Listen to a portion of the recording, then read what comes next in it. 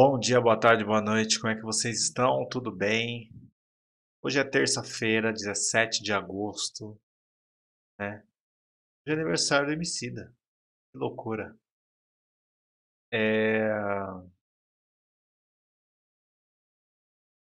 Agora, o tempo real, o horário real são 15 horas e 43 minutos. Mas essa essa aula deve estar rolando agora para vocês. Dá uma olhadinha no relógio, deve ser coisa de 7 e 2, talvez. É, eu estou gravando essa aula mais cedo, tendo alguns compromissos à noite, então estou gravando as aulas mais cedo. Vamos continuar a leitura do livro. Terça-feira eu confesso para vocês que é a aula que eu mais gosto, que é a leitura de How to Rap. E tem um problema no meu notebook, no, na aula de terça passada, que eu avancei até um ponto na aula, porém só salvou um ponto anterior. Então, vou começar do ponto onde parou, onde, né, onde aula acabou. É, nós estávamos falando sobre conteúdo, mais especificamente sobre slang, sobre gírias, né? E aí o, o vídeo parou bem na, no depoimento do Omar Cruz, né? Que ele está falando sobre o Ebony, o Ebony English, né? O inglês negro uh, nos Estados Unidos. Uh, eu queria falar mais alguma coisinha, porém eu esqueci. Bom, quando eu lembrar, ah, e tô, tô na, na verdade, só compartilhar uma alegria aí que eu tô feliz que eu consegui arrumar o notebook que eu realmente trabalho. É, então eu tô aqui já usando ele. É, ele me dá um pouco mais de potência para fazer as coisas que eu preciso fazer. Então estou muito animado com isso. É, vai, aquelas lives que estavam caindo direto não vai acontecer mais. Pode cair por outros motivos, não pelo motivo pelo qual estava caindo, né? Espero que isso se reflita aí nas próximas, nos próximos conteúdos. Vamos nessa? Vamos que vamos? Nós vamos começar aqui, ó. Paramos aqui no uh, aí na parte aí do Omar Cruz. Vamos nessa aqui. Existe o Hood Ebonics, inglês afro-americano. Então você tem sua própria gíria. A costa oeste tem sua própria gíria. A costa leste tem sua gíria. Você mistura tudo junto e se encaixa de maneira certa. Isso é o que separa os MCs de todos os sons parecidos, dialetos e gírias. Isso é o que separa os MCs de todos os sons parecidos, dialetos e gírias. Então ele está falando que os MCs usam muito dialetos e gírias, né? É, inclusive, deixa eu compartilhar uma coisa com vocês. Eu gosto muito de, de sotaques, né? Eu gosto muito de, de gírias, né? E, e gosto muito também, particularmente, de, ah, de, de, de identificar as, as diferenças entre as regiões da língua, seja é, português ou outras línguas, embora eu não seja um, um exímio falante de outras línguas, assim, mas eu, eu, eu por gostar, eu tenho uma certa facilidade para identificar, né? E eu, por exemplo, eu gostava muito de assistir é, filme com legenda de português de Portugal para sacar as gírias portuguesas, né? Eu gostava, porque eu gosto muito do rap de Portugal, né? Então, essa coisa, por exemplo, de gajo, né? É, gajo, gaja, né? Que é a, a, a menino, menino, né? A, a, é, que mais? Gajo, gaja, é, chibaria. Eu gosto bastante.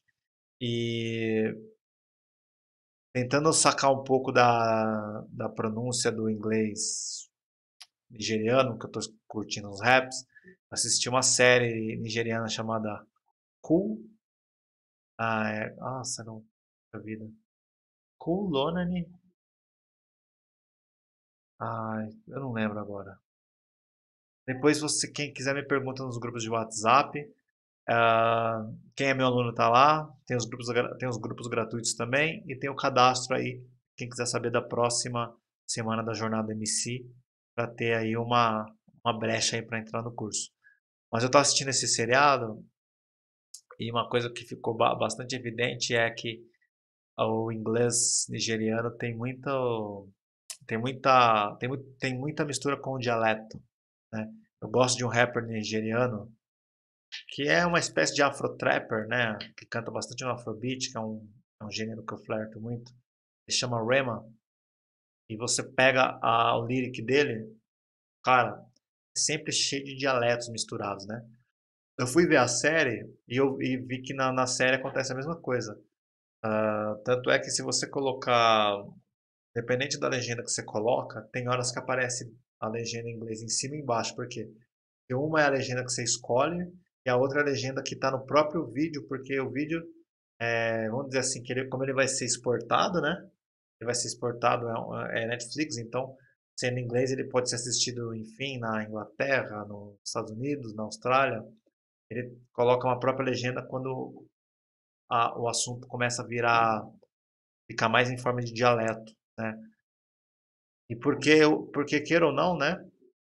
O fonema, o fonema é o primeiro nível de construção do rap. É o, é o som da sílaba, né? O fonema, depois do fonema, a, o som da palavra, e aí depois do som da palavra, a frase nos versos, a frase nos versos, a parte da música, a parte da música, a música inteira, a música inteira, o álbum, e por aí vai crescendo, né? Uh, vamos seguir aqui.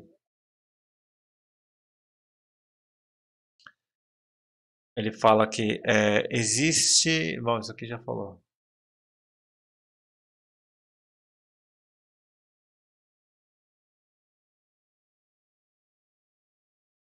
Eu tenho uma quantidade decente de inglês no meu cérebro, além de ter Ebonics no meu cérebro, que é como minha maneira natural de falar desde que crescia, sendo uma criança negra, crescendo com gíria negra, gíria afro-americana no gueto. Isso é tudo, isso, isso é todo um outro dicionário em si. Ah, E40 é conhecido como o mestre da gíria da costa oeste e muitas das suas canções, das suas canções usam gírias extensivamente. Ele tem sua própria explicação de por que a gíria é tão popular. Aí o E40 tá falando, né? É... Todo mundo quer ouvir um pouco de agitação, eles querem ouvir algo bom, eles querem ouvir novas palavras. O mundo gira em torno da gíria. Seja gíria cafona ou gíria descolada do capô. Ela, eles só querem ouvir. E é assim que é. Que, é assim que vamos ver o que ele fala. É assim que vai. Algumas pessoas têm maneiras diferentes de fazer suas gírias, mas eu cuspo em gírias de capuz. No final do, do seu single de sucesso, Tell Me When to Go, produzido por Lil Jon, E40 usa várias frases de gíria que são associadas ao estilo de música If Bay Area, como Ghost Ride The Whip, coloque seus óculos de atordoamento, cara de diz e vá estúpido. Ah, são os, os títulos da música, né? É, se a gente for mudar aqui para inglês, vamos ver.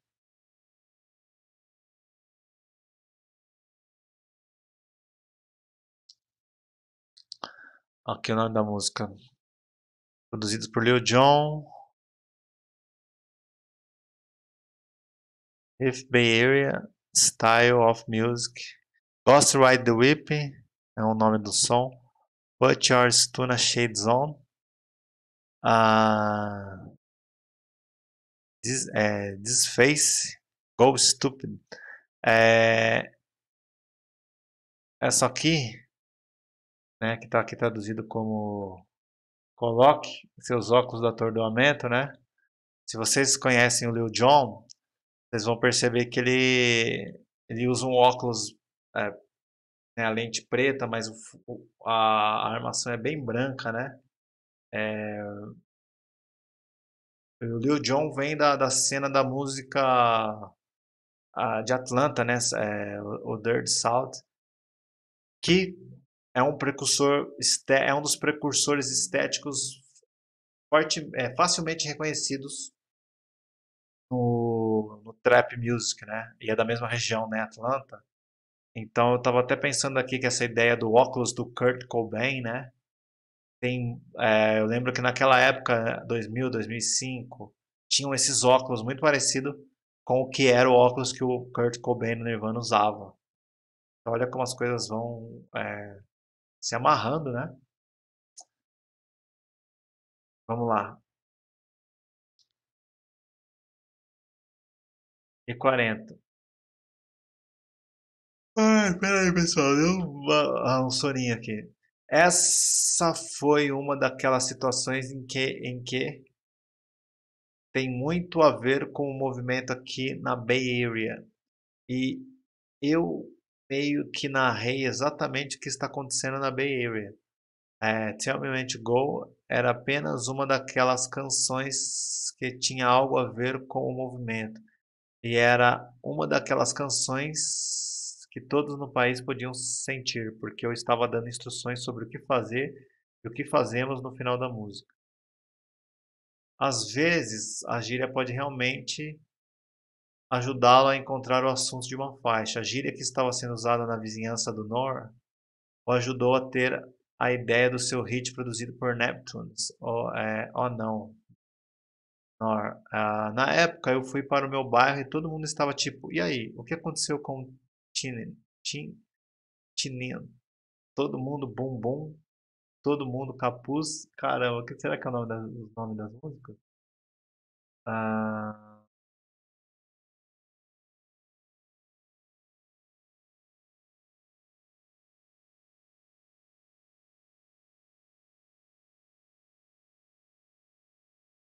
Bom, vamos seguir.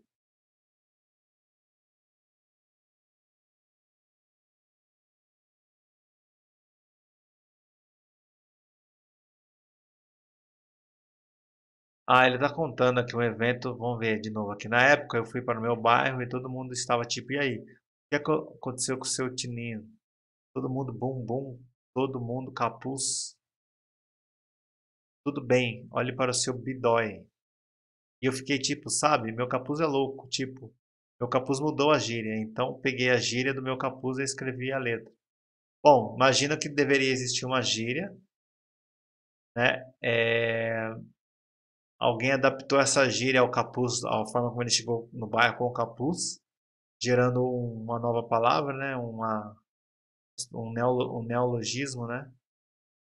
E ele acabou usando isso como título de uma música futura dele, naquela época, né? Que iria existir ainda. Uh, existem muitas outras faixas de hip hop conhecidas principalmente pelos de gírias, drop, drop like Dropped Like Hot, do Snoop Dogg, usa a gíria Yeezel, da costa oeste, onde o final de cada palavra é substituído por Yeezel. Snoop Dogg usa a mesma técnica em um número de outras canções. Oh, lembrando que né, é, tem, tem, até quem falava que tinha a língua do Snoop Dogg, de tanto que ele usou esse Yeezel no final. Né? É, isso, esse êxodo do Snoop Dogg é mais ou menos equivalente ao que o Criolo faz em Grajaú X. Talvez vocês já, já tenham até comentado isso aí no comentário, ou pensado, ou vou comentar, nossa, pensei isso, devia ter comentado. Vamos nessa. Uh, Wu-Tang o uh, Wu-Tang Clans são conhecidos por sua, sua gíria densa, que é muito específica do seu grupo, dando às suas faixas uma sensação distinta e instantânea instantaneamente reconhecível. Vocabulário. O vocabulário de um MC consiste em todas as palavras que ele conhece e usa para escrever rap. A maioria dos artistas recomenda ter um vocabulário amplo, pois o ajuda a expressar seus tópicos de maneira mais eficaz. Uh, a Kill, uh, a Kill the MC do Jurassic 5. É, estude vocabulário. O vocabulário é uma obrigação. Aí o rapper falou, hein, pessoal? O vocabulário para quem faz rap é uma obrigação, hein? É, o Omar Cruz, claro, você deve ter um vocabulário extenso, senão todas as outras palavras são filho da pi, filho da pi, to max, revisionaires, uh, max,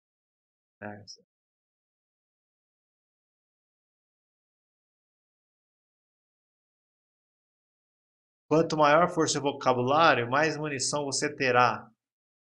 É RPX. Ajuda a ter um grande vocabulário, especialmente em um jogo onde as palavras são o armamento.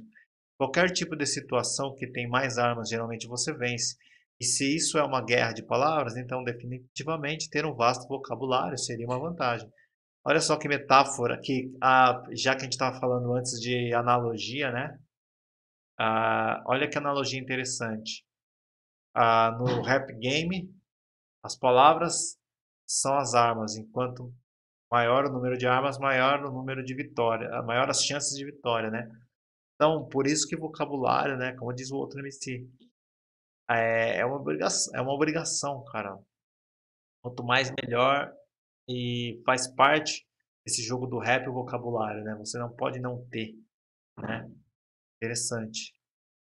Ah, saber muitas palavras pode facilitar a descrição de seus sentimentos, e quanto mais palavras você souber, mais tópicos poderá abordar de uma maneira poderosa.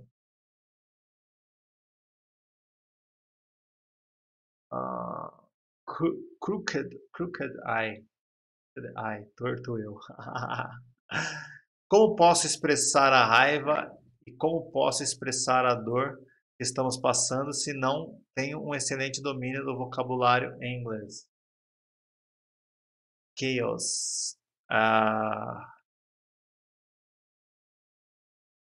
Ai, acabou a luz aqui. Só um minuto, pessoal. Deixa eu, eu ligar. Deixa eu ligar essa luz aqui que acabou. Já volto.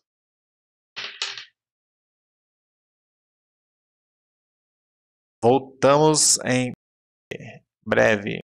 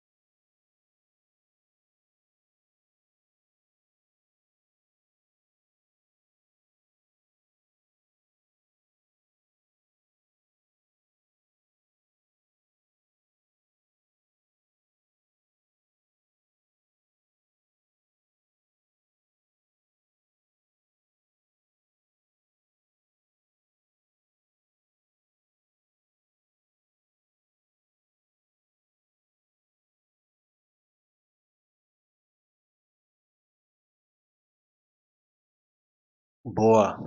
Carregando um pouquinho a luz, daqui a pouco eu ligo ela para não ficar essa sombrinha tá? assim meio mexendo.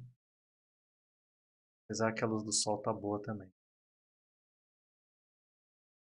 Vamos que vamos. Só fazer um teste aqui.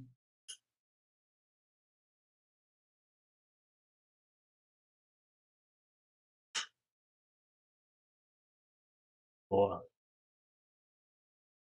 Vamos lá. É...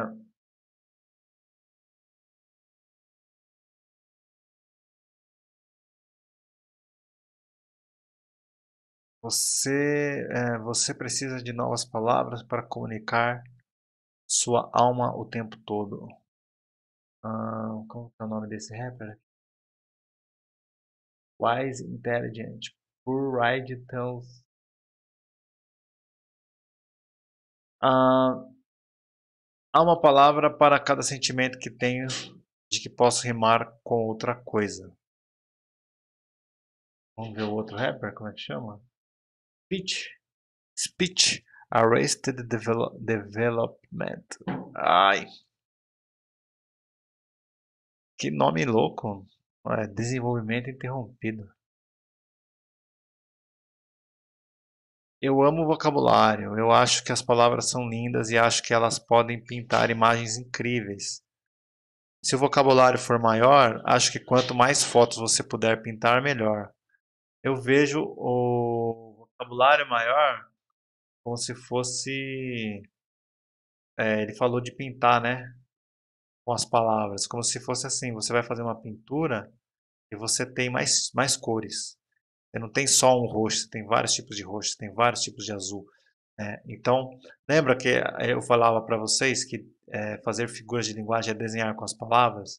Então, é, para desenhar com as palavras, cada palavra é uma tonalidade, uma cor. Quanto mais palavras, mais tonalidade tem o seu desenho. Num nível que ele não, não mude grotescamente de uma cor para outra, mas que ele vá como um degradê suave, pelo fato de você ter muitas palavras ali para conectar e fazer aquela ponte. Ah, uma, um grande vocabulário também pode permitir que você alcance um público mais amplo. Legal. Uh, Cops, Cops Malone. Cops Malone? Não sei como que aparece. Glasses, Glasses, Glasses Malone. Uh, vamos lá. Tento ter certeza de usar uma variedade de palavras. Acho que isso é definitivamente uma vantagem. Qualquer grande orador, todos podem se relacionar com ele, desde, uma criança de 4 anos a alguém de 94 anos. Essa é definitivamente a chave para fazer qualquer tipo de discurso. Você deseja que as pessoas entendam e acreditem no que você está dizendo. Bom, então é isso, né? Sem, sem muito mais, né? Quanto mais maior o vocabulário e maior o seu poder de articular as palavras do, do seu vocabulário, com mais com público maior você pode comunicar de 4,94. Ah,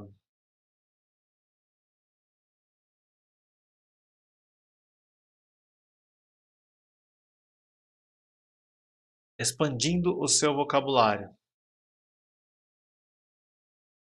Quanto mais palavras você encontrar e descobrir as definições, maior se tornará o seu vocabulário. Muitos MCs sugerem ler muito para melhorar, melhorar seu vocabulário. É... Quando você é um MC, quando você é um MC, você é como um aspirador de pó. Quando você lê coisas, você faz anotações mentais o tempo todo de novas palavras. É quase como se você fosse um fornecedor de palavras apenas para sobreviver. Pergunta: vocês fazem isso? Quando vocês MCs estão vendo filme, lendo legenda, lendo livro, vocês anotam mentalmente as palavras novas? Coloca aí nos comentários como é, como, se vocês fazem ou não. Se sim, como vocês fazem exatamente? Como é o processo de vocês? Ah, MERS. Eu leio constantemente, leio o jornal o máximo possível, leio oito gibis diferentes por semana e, além disso, estou sempre lendo um romance ou uma biografia. Omar Cruz, eu leio muito, sempre adorei ler. Apenas ler, ponto final, vai ajudar seu vocabulário. Não importa o que você lê, desde que esteja lendo, seu vocabulário se expande. Muita gente me pergunte, né? Pô, mas o que lê, Daniel, para aumentar o vocabulário? Então, a resposta está aí, ó. Não importa o que você lê, desde que esteja lendo, seu vocabulário se expande. O interesse por assuntos específicos também pode aumentar a gama de palavras que você conhece. A Dama da Fúria. Nossa. É... A Dama da Fúria. Né?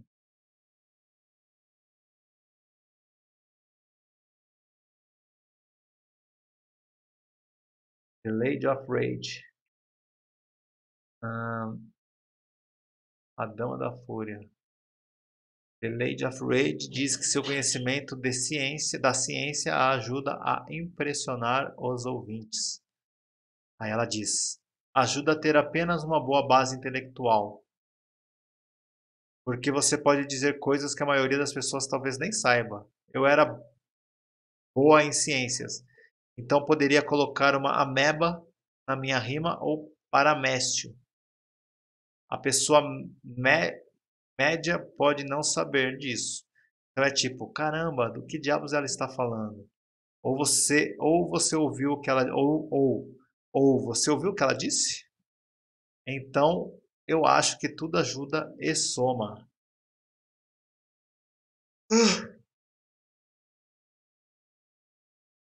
Além, a, além de ler e estudar, existem outras maneiras de dos MCs sugerirem aumentar seu vocabulário.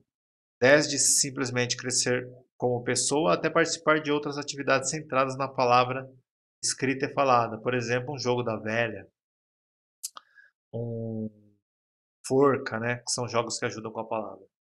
Eu acredito que conforme você envelhece e se desenvolve como pessoa e começa a lidar com diferentes tipos de pessoas, você amadurece e junto com essa maturidade vem o vocabulário maior. Também, tá legal. Mike Nine. Mike Nine.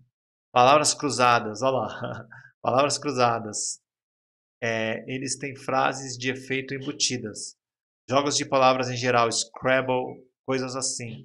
Falar muito, se comunicar com as pessoas, ver muito noticiário, ver o que está acontecendo no mundo, atualidades, coisas dessa natureza, onde tem muita linguística acontecendo e linguagem. É, basicamente é isso, fo focar em atividades de linguística e linguagem. Até por isso que eu, que eu trabalho com essa versão traduzida, não oficial traduzida, né? Por que não oficial? Porque não foi a editora que traduziu, né? E trabalho também, gosto de deixar o inglês junto aqui, porque cada palavra que eu acho e me sinto na, na dúvida, eu venho aqui só de mudar de um para outro aqui, né? Um dependendo para um depending, você aprende uma palavra nova, né? Um linguagem cotidiana para é, everyday speech, né? já me uh, já me já, já mexe com a minha linguagem, né? Então vamos lá. Obtendo seu ponto de vista. Dependendo do público que você está tentando alcançar, você pode querer usar palavras mais elaboradas e incomuns, ou você pode querer usar principalmente palavras da linguagem cotidiana. Lord Jamar, Rain Nubian. Acho que depende do público com o qual você está tentando falar. Eu acho que é bom ter um grande vocabulário e então usar o que você precisa no momento certo. Tá aí também uma, uma sabedoria aí muito válida no, na nossa área de atuação que é o rap, que é a questão de a sabedoria de saber o que usar, como usar e quando usar, né? Não só ter o excesso de palavras, mas saber, mano, qual é a melhor hora? Qual é o melhor jeito? Né? Quais palavras usar?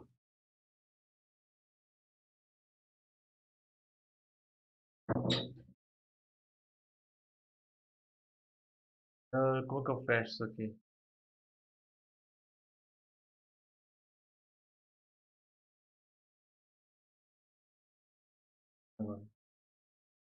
Yeah. Aí, agora eu perdi os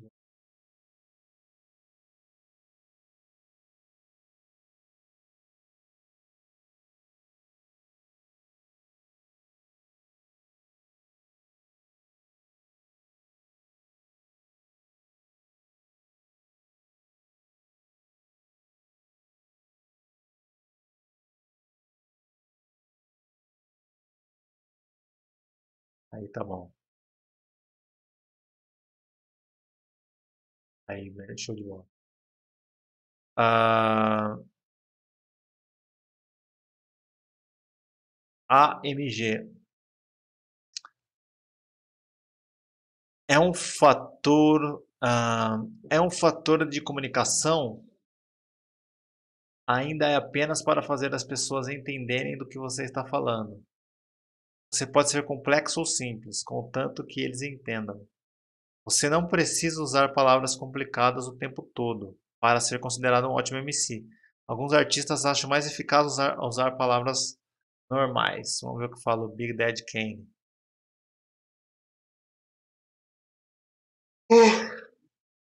Você pega alguém como Big Smalls, Acho que ele era um ótimo rapper, mas não usava um vocabulário extenso. Ele apenas juntou suas palavras de uma maneira habilidosa e funcionou muito bem para ele. Ele conseguiu seu ponto de vista e foi reconhecido como MC quente.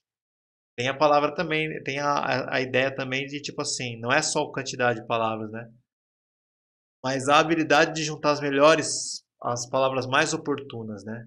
Isso é uma grande habilidade também. Às vezes você tem um bom vocabulário, mas não junta bem essas palavras, né? Uh, Del the Funk, Homo Sapiens. Uh... Oh, meu Deus do céu. Boa. Posso saber o que significa, mas para que os outros saibam, tenho que é, tenho que manter um tanto coloquial, tenho que me manter um pouco, tenho que manter o meu rap um pouco coloquial. Eu não quero emborrecer e não acho que isso seja necessário, mas eu mantenho em termos de leigo o máximo possível, sem ficar entediante. Esse é o desafio de uma boa composição. É uma corda bamba, eu acho.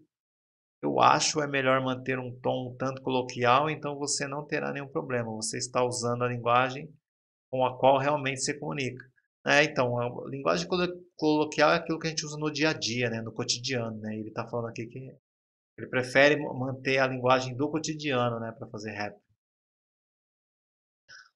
Ah, alternativamente, alguns MCs gostam de preencher suas letras com palavras mais obscuras, especialmente se o público que eles desejam admirar Peraí. Especialmente se o público que eles desejam admirar em um MC. Bom. Mas provavelmente quis dizer assim. Especialmente se, é, se usar palavras complexas é o que o público dele admira. Algo do tipo. Aqui o Vasto Aire. Eu tenho um vocabulário elaborado. Só isso? Beleza. Will I am. Depende de para quem você está escrevendo. Se estou rimando para outros rappers, quero passar por cima deles. Tudo depende do que é o meio ambiente. Isso é uma coisa muito interessante que uh, a gente não define isso muito bem, mas às vezes a gente está fazendo rap para rappers, né? Então quando a gente está fazendo rap, rap para rappers, a gente tende a ser mais complexo, mais elaborado. Quando a gente está fazendo rap pro público, a gente tende a ser mais coloquial, ser, ser mais rítmico, né? Coisa desse tipo. Chuck D, Public Enemy. Bem, você passará por cima de algumas cabeças e acertará outras. Você não deve se preocupar com as outras pessoas o tempo todo. Às vezes, faça apenas o que sentir. Isso é legal também. Você deve se preocupar com o que o ouvinte vai ouvir, mas não o tempo todo, né? Senão você também trava a sua obra. Né? Ah, usando o dicionário. Será que é um nome de um rapper esse barra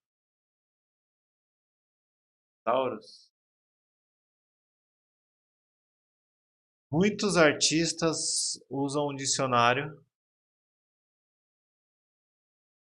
Muitos artistas usam um dicionário e ou uma enciclopédia para ajudá-las a descobrir novas palavras para usar nas letras. Você pode pesquisar uma palavra em um dicionário para verificar se está usando-a corretamente ou para descobrir informações adicionais sobre a palavra e o seu significado, o que pode ajudá-lo a encontrar mais maneiras de se expressar. Agora a gente tem o Google e tem o Wikipedia, né, e tem os dicionários do Google, enfim, tem muita ferramenta hoje. Tech9. Se eu disser a palavra concedido, eu estaria tipo concedido. Usei isso no contexto certo? Então sento ao lado de um dicionário para ter a certeza de que estou usando tudo no contexto certo. Você não quer soar como um idiota. Cara, eu já fiz isso. Eu já usei uma palavra achando que queria dizer uma coisa e queria dizer outra. Ah, mas não fui só eu não, muita gente. Na música luz e sombra. Era cinco da tarde, horário de verão, do tipo que arde, era toda diversão, no clima no ar de pura diversão, no em cima do mar de colchão. Deixo entreaberto um lado da cortina, a luz ilumina. Deixo entreaberto um lado da cortina, a luz ilumina, sua retina, luz esfumaçada, mas não é nicotina. É não sei o que lá, isso tudo me atina. A tina não tem nada a ver com o contexto que eu usei. Eu usei a tina como se fosse parece, é, eu fiquei com a, é, com a tiça na cabeça, né? Ah, a tina é mais propício, deve ser a mesma coisa que a tiça, mas tipo, não sei de onde que eu tirei aqui. Depois quando eu fui olhar no dicionário já era tarde, já estava no álbum oficial com com seu ISRC todo registrado, mas não tem problema. Ai, confissões. Cara, pode ser a primeira vez que. Ou, mana, pode ser a primeira vez que você tenha. Que vocês. É, tenham estejam vendo alguém confessar um erro numa obra, mas ele é muito mais frequente do que você possa imaginar. Vamos lá, a Big Noid. Às vezes uma palavra vem a mim e eu não sei a definição. Então vou pesquisar essa palavra e a partir daí entro em mais detalhes de onde a palavra vem e tento elaborar com o significado da palavra. Vou pesquisar o verdadeiro significado, significado de morte, por exemplo, e depois elaborar algo assim. Da mesma forma, pesquisando uma palavra em um dicionário de sinônimos, você pode descobrir seus sinônimos, palavras que têm o mesmo ou quase o mesmo significado, e antônimos, palavras que têm o significado oposto. Isso é uma bela de uma dica também, que é o seguinte: você identificar nas palavras que você mais quer usar, mais tem a intenção de usar dentro de um tema, ou se é o seu estilo, aquela, aquelas palavras fazem parte meio que do seu vocabulário artístico do rap, você conhecer bem os seus sinônimos, que são as palavras que têm o mesmo significado, os seus antônimos, que são as palavras antagonistas, né, as palavras que se opõem, é uma maneira de você construir, inclusive, um raciocínio mais inteligente na sua letra, tá?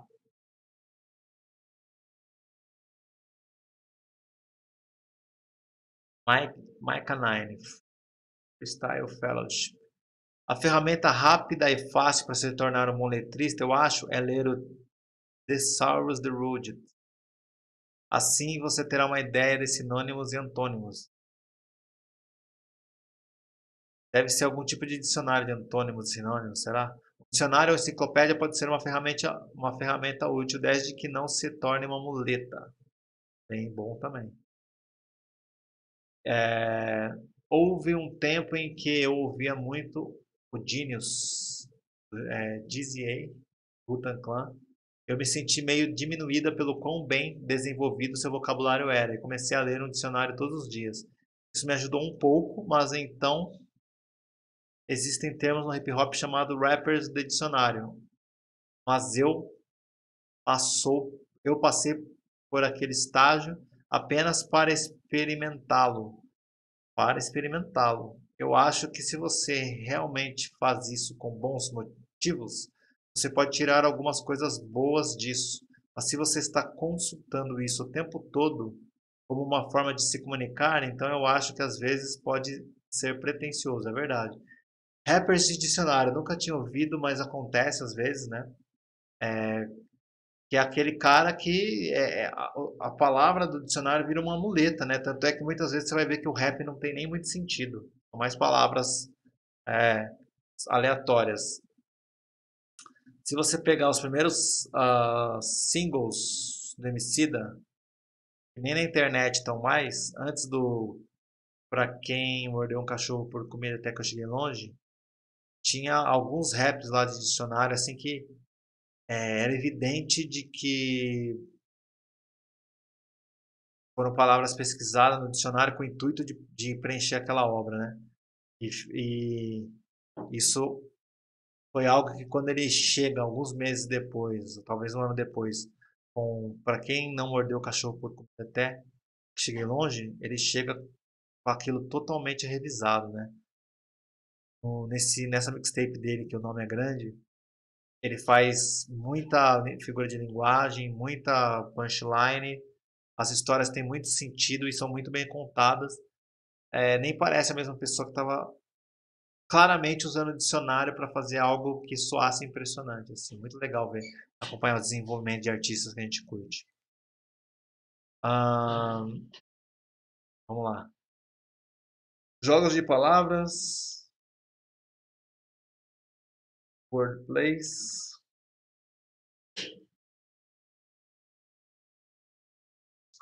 Jogo de palavras é simplesmente brincar com as palavras e seus significados, usando a linguagem de maneira inteligente.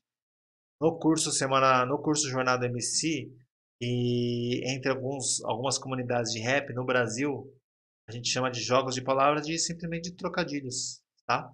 Só fazendo um adendo. Ah, Royce. Eu sou como eu sou como um cara das palavras. Gosto de brincar com as palavras.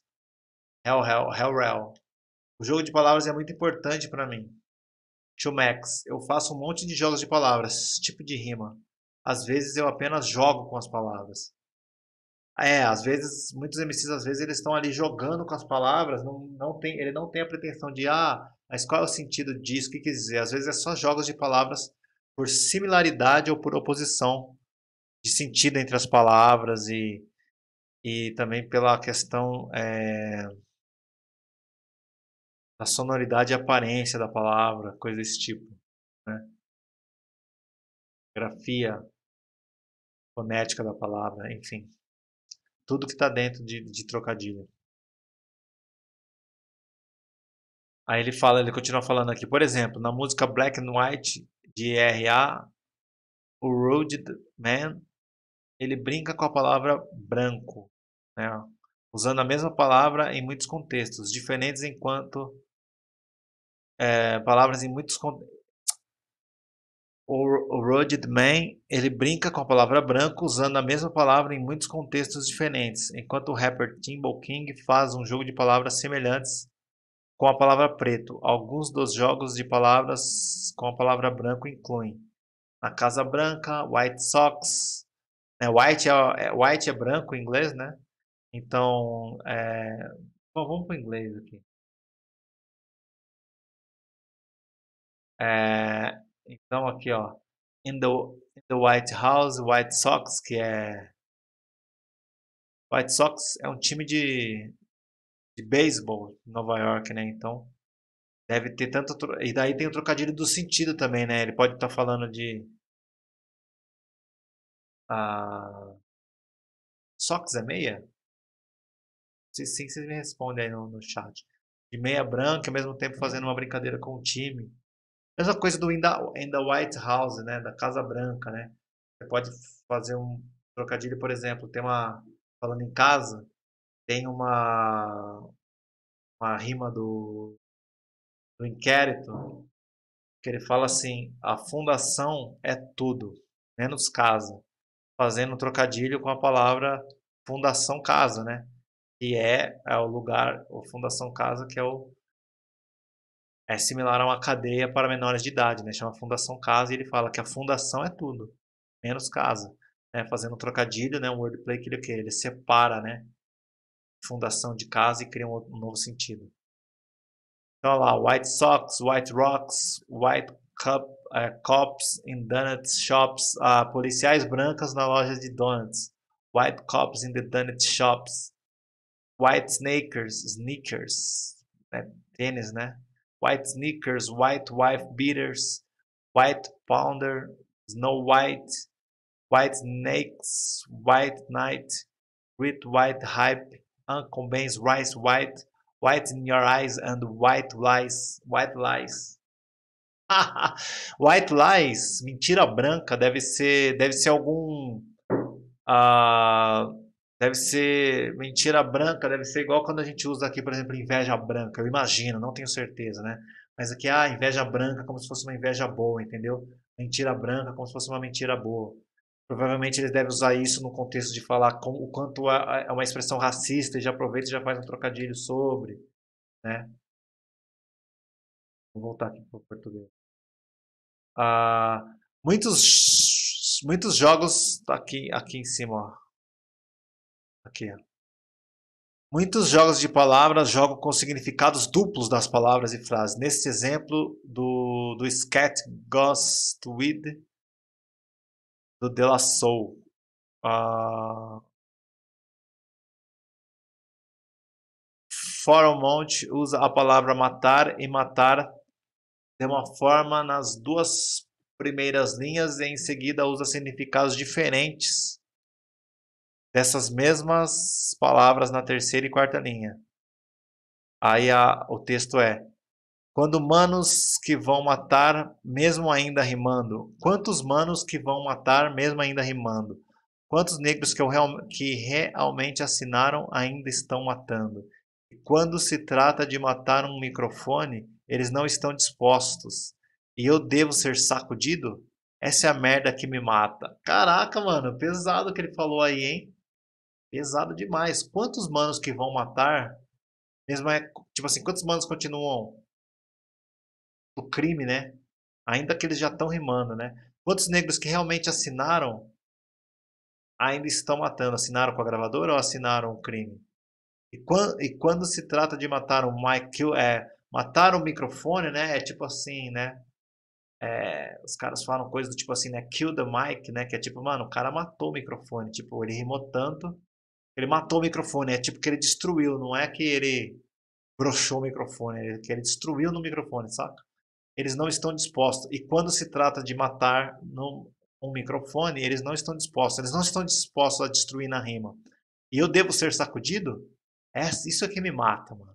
Caraca, velho, que foda. Vamos ver em inglês?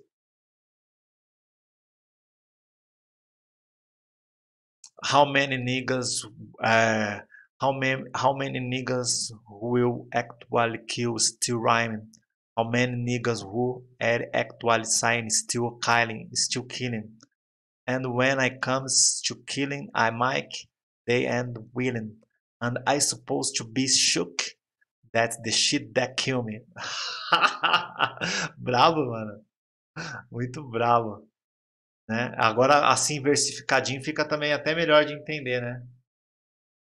How many niggas who will actually kill still rhyming? How many niggas who are actually singing still killing? And when I comes to killing a mic, they ain't willing. And I supposed to be shook.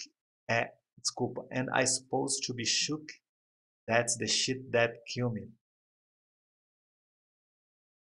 Vamos lá de novo. Quantos manos que vão matar mesmo ainda rimando? Quantos negros que realmente assinaram ainda estão matando? Quando se trata de matar no microfone, eles não estão dispostos. E eu devo ser sacudido? Essa é a merda que me mata. Dá pra criar uma versão em português disso aí, hein? Já aproveitar que rima no início. Quantos manos que vão me matar mesmo ainda? Quantos manos que vão matar mesmo ainda rimando? Quantos negros que realmente assinam ainda não ainda estão matando? Quando se trata de matar o microfone, matar no microfone, quantos estão treinando, estudando, e eu devo ficar me chateando? Essa merda que tá me matando. Mano, é, é, é bom, é sempre legal prestar atenção nas rimas gringas, que muitas rimas brasileiras, cara, é, você reconhece que alguém viu a rima gringa e adaptou. Inclusive, eu já adaptei uma rima gringa que eu já vi que outro brasileiro adaptou. Que era uma, uma rima muito foda de um mano chamado é, Big L, né? Que ele fala, tem um freestyle dele com o Jay-Z que ele fala uma parada assim, é... Eu sou, eu sou tão à frente do tempo que os meus pais ainda nem nasceram. Eu, eu adaptei isso para português em Afro Cypher uh, 1 e tem um outro rapper brasileiro que adaptou também, né? Que ele, como ele não falou, ele adaptou, não sou eu que vou falar o nome dele. É um rapper fudido, muito bom, muito respeitável. E, mano, é, é uma prática cultural você adaptar conteúdos de outras línguas, de outras obras. É uma espécie de intertextualidade, que é o próximo módulo no Jornada MC, curso que está lá no Hotmart. Uh, para muitos MCs, ser bom em jogos de palavras inteligentes vem de ser um bom aluno de inglês ou ser bom em escrever poesia. É real, mano, é real. É real. Sempre fui bom com as palavras, cara. Sempre fui um aluno a mais com inglês e escrita criativa. Uh, cara, um bom MC desse nível aí de que gosta de trocadilhos são pessoas que gostam de, por exemplo, eu gosto de linguagem, né? Eu gosto de ver os formatos das palavras em diversas línguas, eu gosto de ver quais são os radicais parecidos, eu gosto de, é, de saber qual é da origem latina, qual é de origem grega, qual é de origem árabe, eu gosto dessas coisas um, um, um, MC que gosta também disso, de linguagem, com certeza ele vai ter mais facilidade para fazer trocadilhos, jogos de palavras, uh, uh, rimas de efeito, narrativas, né? Obviamente, é óbvio, isso é óbvio, né? É a mesma coisa que, tipo assim, você vive de escrever livros. Qual livro que vai ficar melhor? De um cara que escreve livro e não gosta ou de um cara que adora livros e escreve, né? Óbvio. Mas tá. Ah, tanto é que, tipo, a minha pronúncia no inglês é ruim e eu pronuncio, eu faço a pronúncia aqui ao vivo, mesmo errando muito. Por quê? Porque eu gosto, né? Me dá um, me dá um, é, me dá prazer independente de ser bom ou ruim, né? E é fundamental você é, fazer a atividade ter prazer no que você faz, independente do que vão achar de você. É isso que vai deixar você bom. E deixar você bom é o que vai fazer aqueles caras que acharam você ruim quebrar a cara. Tem uma história sobre isso que eu posso contar no grupo do WhatsApp dos alunos. Quem que tiver interessado em saber essa história, me manda lá no grupo. Ô Daniel, conta a história que você falou que você ia contar na aula lá sobre, sobre caçoarem de uma pessoa que é ruim caçoarem. Agora eu mostrei a idade, hein? Sobre zoar uma pessoa porque ela é ruim em algo e depois ela ficar incrivelmente boa e o zoado ser você. Depois me perguntem lá no grupo. Uh, Lady of Rage. Uh, eu costumava escrever muita poesia, então a transição de poesia para rap não é tão difícil, é apenas música para poesia. Olha aí, Delorde, você que começou como poeta, ainda mais no slam, cara, o slam, ele tem o poder de fazer você ir para o rap com a escrita muito mais fortalecida. Porque o slam não tem beat, todo o impacto tem que estar no texto e na expressão corporal. Você coloca um beat no, no que já era forte, o bagulho fica incrível, né? Eu tinha um jeito de fazer rap, até eu ir no slam. Quando eu fui no slam, eu falei, mano, eu preciso escrever de outra forma. As palavras têm que soar de outra forma. É incrível. Five Downs, a Tribe, a Tribe Called Quest. Eu tinha muita prática porque minha mãe é poetisa, então ela fazia muita poesia. Eu fazia muita poesia na época. Nossa poesia era um pouco mais street mas ainda era a mesma coisa para mim. Mas Thaís observa que o hip hop ainda está avançando como arte. E o jogo da, é, de palavras é uma das principais áreas onde isso está acontecendo. Até certo ponto, as inovações ainda estão acontecendo agora. A, a inteligência em termos de jogo de palavras é, é assunto. E assunto é o que você vê sendo mais prevalente agora. Agora nós vamos para linhas de pulsão, as famosas punchlines. Uh, deixa eu ver quanto tempo nós estamos de aula, 52 minutos, então essa aqui vai ficar para a próxima aula, punchline. Uh, linha, aqui, né, por exemplo, a tradução literal é linhas de pulsão. No Brasil a gente chama de linha de, de linha de soco, a gente chama de, de rima de efeito. Né? Linhas é, rima de efeito. Rima de efeito. Mas a, a punchline, né, ou linha de pulsão, pode ser trazido também, ao invés de linha de pulsão, linha de soco. Por isso que o, o Rincon tem aquela música Linhas de Soco, saca? Você vê esse, se você vê esse rap aí, é uma sequência de linhas de soco. Né? É uma sequência de punchlines. Ah, bom, espero que vocês tenham gostado. Eu adorei essa aula. Né? Adorei essa parte do livro. Ah, gostaria aqui só de dar uma ressaltada aqui, né? Que o Master Ace falou naquela época, esse é um livro de 2004, que o hip hop ainda é, um, é uma arte em desenvolvimento. E deixa eu falar para vocês, mesmo que estamos aí há 16 anos depois do livro, né? Para 17, cara, o hip hop e o rap ainda está é, engatinhando enquanto possibilidades líricas, enquanto possibilidades rítmicas, enquanto, enquanto possibilidade estética nas maquiagens, nos clipes, enquanto possibilidades de narrativa, enquanto possibilidades de conto, enquanto possibilidades uh, de enredo, enquanto possibilidades de alegoria. Estamos engatinhando ainda, o campo ainda é enorme, tem muita coisa que ainda não foi feita, principalmente no Brasil. Tem muita estética nos clipes que ainda não foram exploradas, muitas cores que ainda não foram exploradas em clipes. Ah, muitos estilos de. muita coisa do, do, do, texto do cinema que ainda não foi usado. Então, abra a mente de vocês para criatividade. É, vão buscar beber ah, de outras artes gráficas, de outras artes escritas, de outras artes visuais, de outras artes sonoras vão conversar, vão falar, vão ouvir, vão estudar, vão interagir. Que isso tudo reflete no rap de vocês, né? Ah, assim como um bom traficante não usa droga, um bom rapper escuta pouco rap, porque ele sabe que o rap já é o suco da fruta.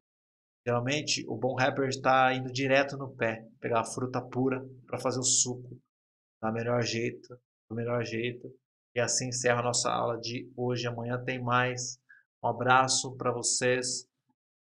Alunos, chamem lá no grupo, vamos trocar essa ideia. Tamo junto. Grande abraço e até a próxima.